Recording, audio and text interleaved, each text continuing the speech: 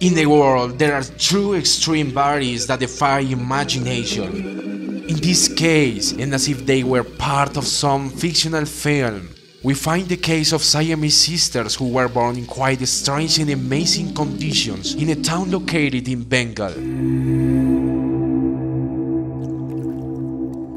Ganga and Jamuna Mondal, as they are called and whose real names are Aira and Jaira Rotten.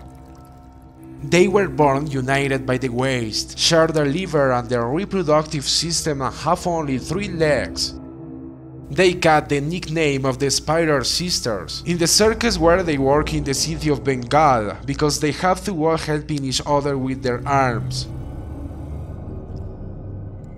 They were born with a rare physical union, but they not only share the body, but they can also feel the same emotions, because for them too the bond they have is something inexplicable. That is to say, when one feels happy, the other feels happy too, or when one feels angry, the other too. Not that it always happens, but it is something that is usual in them.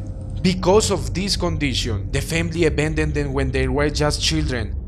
Having no other choice, they decided to form part of circus that travels all over India, offering several shows. The one they star is one of the most famous and applauded. Most of their lives have been victims of rejection and repudiation, but fortunately, both claim to have found the love of their lives at the age of 22. This is Jasimuddin Ahmad, a man who stands out as a teacher in a school in a small town in India and with whom they fathered a son, who was born by caesarean section but died hours later due to heart complications. They are a clear example that all limitations are mental, as they show you can live in these conditions.